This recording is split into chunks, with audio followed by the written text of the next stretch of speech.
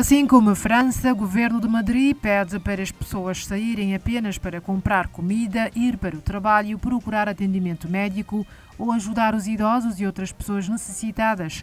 O país já conta com quase 6 mil casos de infecção, com cerca de 180 mortos.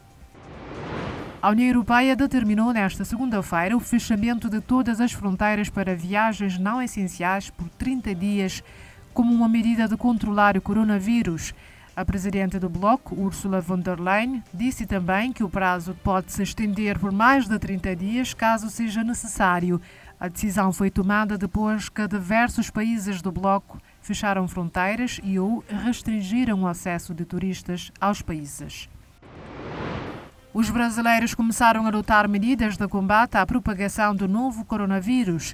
Em todo o país, há mais de 180 casos. Números oficiais considerados relativamente baixos, mas que podem não corresponder à realidade, dada a dificuldade da realização de testes de infecção.